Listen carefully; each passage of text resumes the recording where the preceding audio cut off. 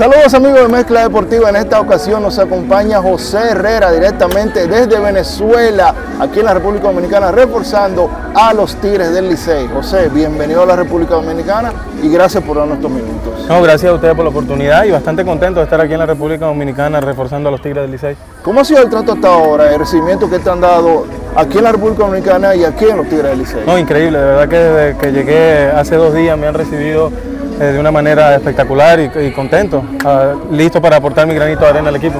El Licey ya a un tris de ir a la final en la Liga Invernal de la República Dominicana, las expectativas tuyas personalmente con el conjunto azul.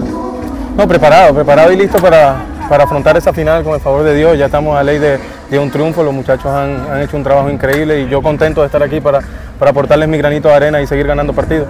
Tu compatriota José Sucre está aquí también con los Tigres Licey, así como también tu compatriota José Briseño y también Juan Graterol con las Estrellas Orientales y también Tomás Telis con los Gigantes del Cibao. Sí, de verdad que es bastante bonito ver a, a compatriotas y, co y compañeros eh, jugando aquí en la, en la, República Dominicana, reforzando, reforzando los equipos y contento. Conozco a Sucre desde hace muchos años, hemos jugado bastante en contra y estar con él compartiendo equipo, de verdad que es una experiencia bonita.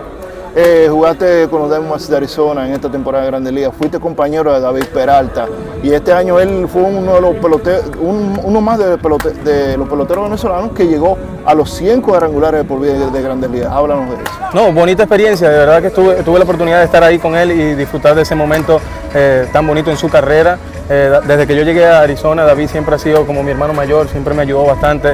Eh, fue triste verlo, verlo cambiado, pero así es el negocio y de verdad que siempre me ayudó bastante durante mi, el, mi año en Grandes Ligas. Tu temporada con, lo, con las Águilas de Sula allá en Venezuela, las Águilas de Sula no alcanzaron lo que debían alcanzar, ir a los playoffs. Cuéntanos qué pasó ahí. La verdad que fue una, una temporada muy, muy buena, eh, lastimosamente no, no, pudimos clasificar ni eh, cuando bateábamos el picheo no estaba ahí y cuando el picheo siempre eh, estuvo ahí resolviendo nosotros no pudimos ayudarlo, pero es parte del juego y de verdad que esperamos que el año que viene sea totalmente distinto, pero contento de, de esta nueva oportunidad de estar aquí en Dominicana. Mucha diáspora venezolana residiendo aquí desde hace muchos años, ¿cómo te encuentras eso? La verdad que es bueno, es bueno, es, es sentirme en mi país, eh, me han recibido bastante bonito, me han escrito en las redes sociales de que están orgullosos que un venezolano esté representando el país aquí en, en, Dominicana y de verdad que ha sido, ha sido bastante, bastante caluroso esta bienvenida.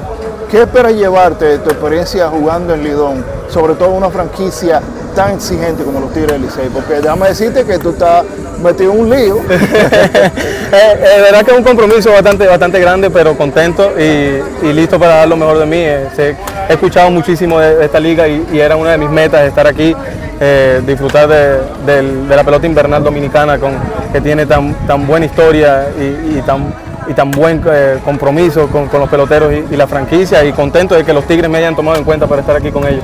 Clásico Mundial de Béisbol 2023. ¿Está José Herrera en los planes de la selección de Venezuela para ir a ese evento? Aún no, aún no, no he conversado con la federación. José Herrera siempre va a estar disponible para, para, representar a mi país con orgullo. Esperemos que ellos me tomen en cuenta y si de ser así, siempre voy a estar disponible. Finalmente, Venezuela va a tener, después de muchos años, la Serie del Caribe allá en Venezuela. ¿Qué significado te deja eso? No solo para ti, sino para todos los peloteros de allá de Venezuela. Un orgullo, un orgullo después de tantos años poder eh, recibir ese espectáculo de nuevo en nuestro país y que sea una experiencia muy bonita y, ojalá podamos estar compartiendo allá y disfrutando de, esa buena celebración. Bueno, muchísimas gracias José, te auguramos lo mejor aquí con los Tigres del Licey y por qué no en las grandes ligas con los Demons de Arizona. Muchísimas gracias, gracias por la oportunidad. A ustedes continúen con el contenido de Mezcla Deportiva y no olviden suscribirse a nuestro canal de YouTube, activen la campanita y denle like y comenten sobre el contenido que hacemos para todos y cada uno de ustedes. Con la pala y el cemento, esto es Mezcla Deportiva y más allá del resultado, el atleta es un ser humano.